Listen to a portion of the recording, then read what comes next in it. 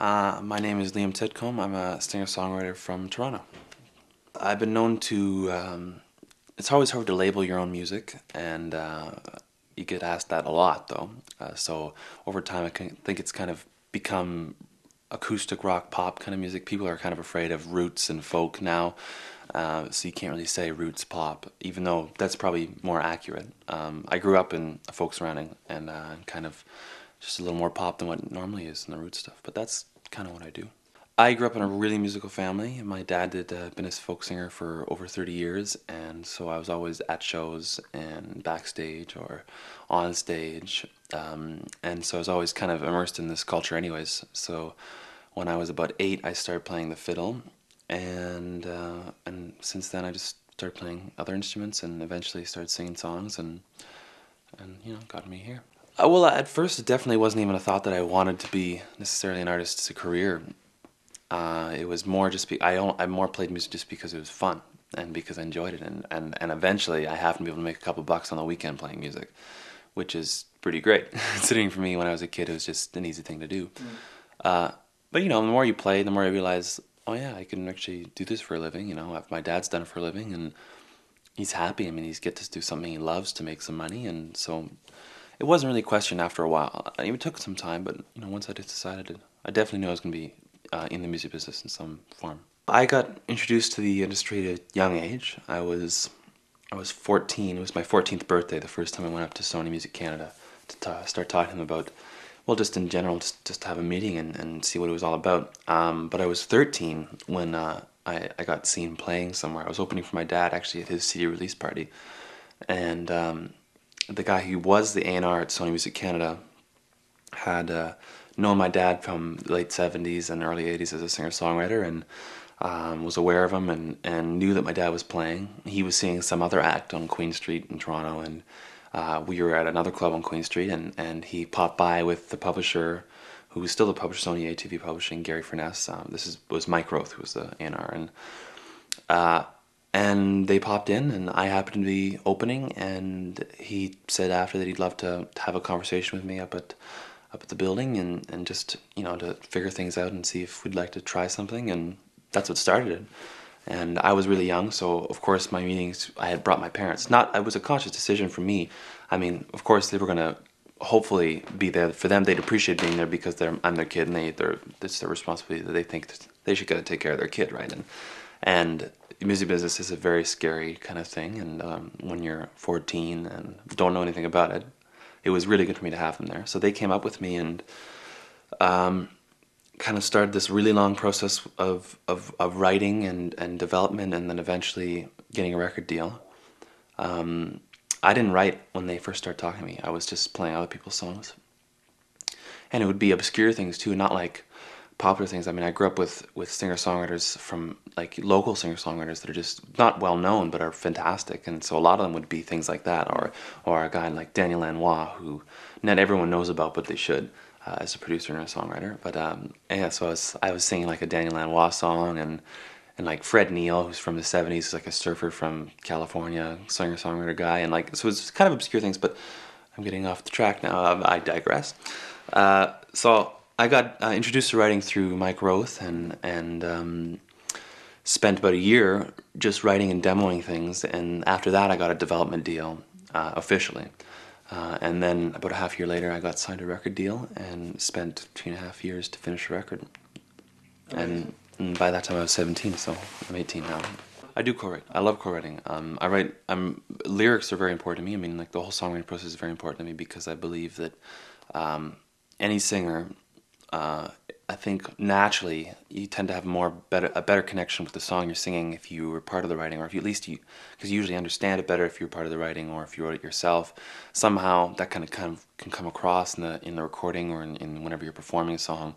I think people can tell when you have a better connection with the song that way. But um, I do I do co-write and I really enjoy it. Uh, I find it fun because you have two brains, you know, instead of one, and you kind of have more, you know, bouncing back and forth and it can be quicker and it can be more fun. But I, it's you know, it's, it's one of the I don't know. You do different things the way depending on how you feel. Who do you who do you write with?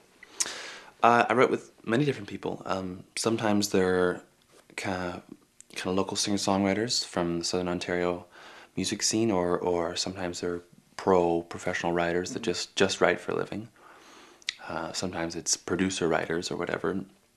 Uh, it's always it's always a little different, but usually um, from usually from a similar kind of scene. I mean, I've been lucky to write with a lot of different people. I mean, I was sent to Nashville when I was 15 uh, to go write with some of the some of the best writers in Nashville, and I had like uh, I had something like five days there uh, where I was writing every day with really professional writers, where they you know in the morning they have a two and a half hour to three hour session to write a song, and in the afternoon you know take a lunch break, afternoon two and a half three hour session write another song with somebody else, and so I was sent down to to kind of learn from that and. Uh, not necessarily suggesting that I should do it that way or that you know I should come back with uh, hit songs that are definitely gonna be on my record, but just for the learning experience, and it was uh, an amazing learning experience, and I did get some good songs by record that way. But it was a good experience. Um, I was really lucky to be signed with a good label uh, with good people. Um, I mean, they're all they can all be good labels. It's what makes a when people say it's a, it's a big bad wolf business it's just because it's business. It's the business part that makes it it makes it hard to deal with or dangerous sometimes or whatever. It's just any business is like that. It's it's about money, so it gets cutthroat sometimes. But I was lucky that the people I was working with were really music lovers and uh, had probably been creative in the past or had been musicians or had been signed already. And so they understood it more. And um, at the beginning, at least when I was first starting there, and so it was a really good experience because I was young and they were supporting me and they believed that I could be a singer songwriter and a creative person and they weren't trying to fit me into a box or anything. They thought I could be better being myself, mm-hmm. which is not always the case. And I was I was once again really blessed to be in a situation like that where they were just supporting me to be me. Mm-hmm. Um, so it was a good situation for me. And uh, although I mean well, it's unlikely. I mean, not, it's inevitable. Uh, anytime you get involved in major label business or in the music business, period, there's always big changes going on. And uh, eventually, Sony was bought out by BMG as as a merger, and um, so when that merger started to happen, my record was supposed to be coming out uh, right before the merger happened, uh, and then it got pushed back, of course, because they were merging, and then got pushed back again and uh, into the next year, and after the merge actually happened, and I was supposed to be the last record coming out of the Sony side, and ended up being the first record coming out of the BMG side. Mm. So, uh, being lucky in the first place when I first got there was great, but it kind of you know it made up for it after because you get stuck in the tornadoes of, of, of the music business and like switching labels and, and okay now I've got a whole new company I have to get used to and like a new president I don't know a new A&R people I don't know and uh, at the time there was no A&R at Sony uh, BMG and um, so it was a big big switch and then uh, my record did come out and, and everything worked out fine really.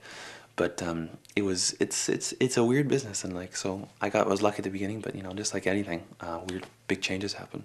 Well things are really changing in the music business lately uh, and uh, the benefits of being on a major label are very different than they used to be. It used to be um, it was the sure thing to do okay you've got to be on a major label unless you were one of those people that really respected doing your own thing and knew that um, somebody might tell you to do otherwise and you just didn't want to do that. But um, a major label used to be the best bet because they were going to invest money in you and they were going to help you get out to the audience you needed to be in and uh, and support you to be on the road and like it was just going to be everything would be good if you did that. But what's happening now that uh, it's kind of shrinking, I guess, in a way, is that the indie labels are coming back to life bigger than ever, right? And and now the popularity is switching to the indie labels because they're the ones who can afford to sign new acts that are not necessarily going to be set right into the mainstream thing and going to guarantee selling selling records. Mm-hmm.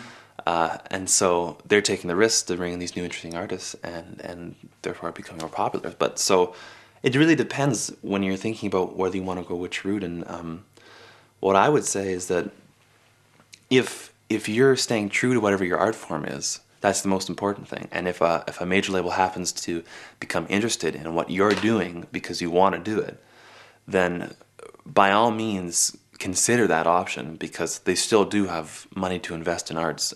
And uh, and what was the deal for me? What what I was considering when I went into this is that I'm young.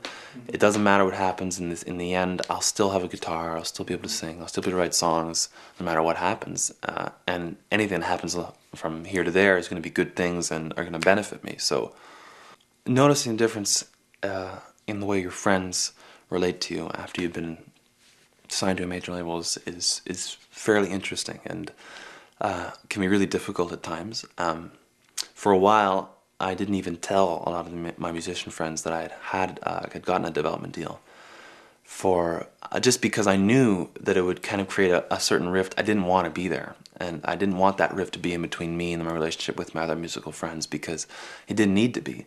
But the way it is these days, everyone's trying to make a buck and they're trying to get their music out to people. That um, it's you know I was being thrown this huge like gift of being able to be part of this whatever the record the big major label thing right and and they weren't necessarily then uh, and that can be really difficult uh, I mean of course I did when I got the record deal it was it was common knowledge in kind of my group of friends and and for a while it made me really uncomfortable because you know, some of my friends, we'd go somewhere uh, where I didn't know everybody, even I'd go with a couple of friends, close friends, and they'd be introducing me to somebody they know. And they'd say, "Oh, this is Liam. He's got a major label record deal," you know, and it, it's this kind of becomes this uncomfortable feeling for a little while to get used to the fact that you're there and you're part of that, and that just is what you are. It doesn't change you as a person, though. And I, I would have to say stuff like, "Guys, please, you know, don't mention the the, the major label thing, the record deal thing. It does, really has nothing to do with me as a person." And and I had this kind of uncomfortable thing, which um, developed from me being afraid that they weren't going to like what was going on. But um, it everything turns out okay in the end, you know. And uh, it there was a while there though where some people people always talk about you get false friends where people like you just because of the fact you're on a record uh, major label and that didn't really happen until sometimes you experience that but it was more the friends i already had and seeing how that changed and the fact that when i wasn't there very often or when i was the different relationships that i had with them because of what I was doing, and and uh, and you kind of weeds out who are your true friends and who aren't, you know, and who really are going to be able to stand by you and, and, and know that you're the same person no matter what happens. And so there were no surprises with your friends. There weren't really. There were a few surprises. One, you know, with my with realizing who really were my friends and who weren't, and uh, I guess you know, it's a, it's a surprise at first, but usually, usually in your back of your mind, you, you know there's a reason for it, and you it's always there's always some way to explain it because you've known the person for a long time or something. But a character thing that I don't know, it, it it's it's always interesting to see who reacts different mm. in the way they do. Because I was growing up in a music family with a, a dad who sang and uh, had been singing professionally for a long time, um, that made a huge impact on the way I sang and and growing up as a kid in our household, it was kind of like normal to scream on the top of your lungs or or sigh or moan or whatever. If you felt like doing something, you'd do it. I kind of grew up in this, you know, post hippie atmosphere, right? And and uh, so if you felt like singing the bare necessities on the top of your lungs because for some reason just felt right, and that's that. Like, our house is insane because of that. Because you know people will be walking around and sometimes they'll be just you know letting out a huge sigh or singing some crazy song, but because of that, singing was so natural for me. It was just a lot of people when they sing, you can tell that they're hesitant and they it's it's not really they haven't really come into their own yet and just start singing because they just want to sing and there's no fear and there's no like uh, holding back. Uh, and that's what people usually have to learn. That's why people have to go to vocal coaches or something, and it's usually just to let themselves go and let the voice come out. And because I grew up with it just there, when I started singing, it was so natural just to sing that I did, really didn't have to work too hard at it. I mean, uh, when I first started working with Sony, the the first three or four demos that I ended up doing with them uh, didn't really work because my singing was really bad. I mean, it wasn't. I mean, it was bad, but it was way worse than what I sing now. And then, like when I listen to those demos now, it's like terrible my singing and, and there was actually a period there where I thought I was going to be done working with Sony because they they I wasn't really you know I wasn't I wasn't bringing myself to the plate and I wasn't really going for it as much as I could I guess but I just I was still learning uh, and like one summer went by after that I didn't see any of them uh, work with anybody for about a summer I just played shows for the summer and sang and came back from the summer of singing and and uh, did another demo with somebody wrote a song with somebody did another demo and that was the demo that got me a development deal, and all of a sudden I was in. But uh, I guess just from then on, it's just been singing that, that makes me help me help me find my voice. I mean, singing in the studio and singing live because they're so different. You learn different things about your own voice, especially being in the studio because you're under a microscope and you have to inspect your own voice so much. It's not just other people saying, "Hey, you got a great voice," or "Hey, that sounds cool," or "Hey, that doesn't sound cool." It's yourself hearing back and going, "Oh my God, I can make that C sound so much better if I do this," or or uh, you know, just from experience, and then you're on the mic and you can hear yourself differently, and and and uh, you just learn just from hearing yourself. And um, I think in the last four years I've become a much better singer because I've just been working at it and just singing a lot. I think of myself as a Canadian singer songwriter for sure because. Uh, growing up in Canada and having role models like Neil Young and Joni Mitchell as Canadian singer songwriters, or Daniel Lanois, or you know, there's a, there's a huge list of people that have uh, influenced the world as singer songwriters, they think of themselves as Canadian too. Uh, and I don't know what it is in Canada that makes you do that, but we kind of have a strong relationship with our country and and and this weird kind of patriotic thing where yes, we're Canadian and we're proud of it, and uh, we're we're proud of our multicultural beliefs and and uh, and all kinds of weird things like that. But I think of myself as a Canadian singer songwriter for sure, and and as far as how that affects the way my career is going to be, the only reason, the way it affects me, I think it doesn't affect me at all the fact that I think of myself that way. I think it benefits me to have a Canadian point of view mm. because I could have, I could have grown up in a different country and not have the, the benefits I have. But uh, I think it's a disadvantage only because I am Canadian, and going to the rest of the world is extremely difficult when you're a Canadian artist. Mm. Um, uh, it's always like there's always the stories of when a Canadian artist goes down to the states and they get signed in the states. It's so much easier. For some reason, getting signed to a record label in the states opens up the doors, right? right. You just you got the doors open to the states all of a sudden, and now you can go and gig all across uh, the USA, and it's the largest market in the world. And you've got Canada because that's where you're from, and Europe usually opens up right after because you were signed in the states. So being a Canadian artist can be really difficult because you know you grow up knowing that it's really hard to break out of the Canadian scene. Mm. And not many people do it, but people do, and I'm hoping to.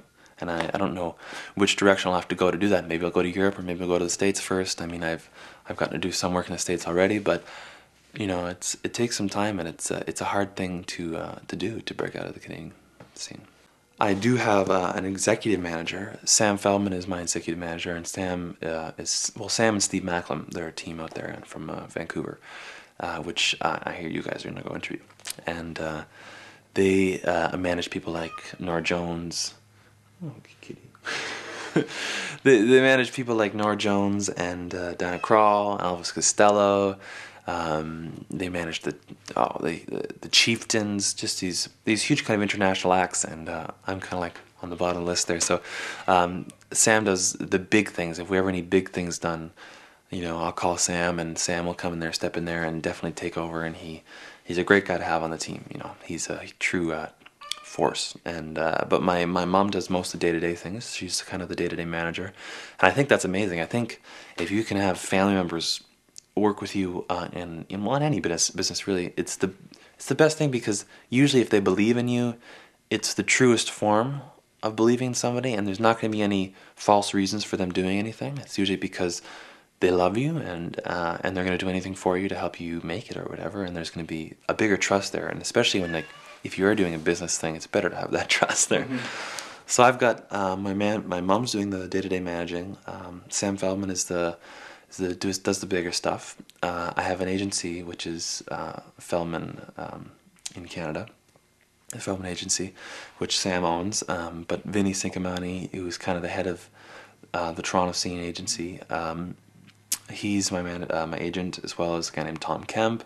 So there's a couple people that work out of there, uh, and I've got you got to have a lawyer, right? You got to have a lawyer. I've got a great lawyer that I really trust, and uh, he's like a, a, Buddhist, which is extremely rare. But um, I got a good lawyer, and I don't know, I got a good team, and, and like that's a very important thing. It's a very important thing to have a solid team that you trust and uh, know will help you when you need it. Uh, so that's I'm kind of in a good situation that way the one thing I've been told by almost everybody I've worked with um, over the last four years was to stay true to yourself.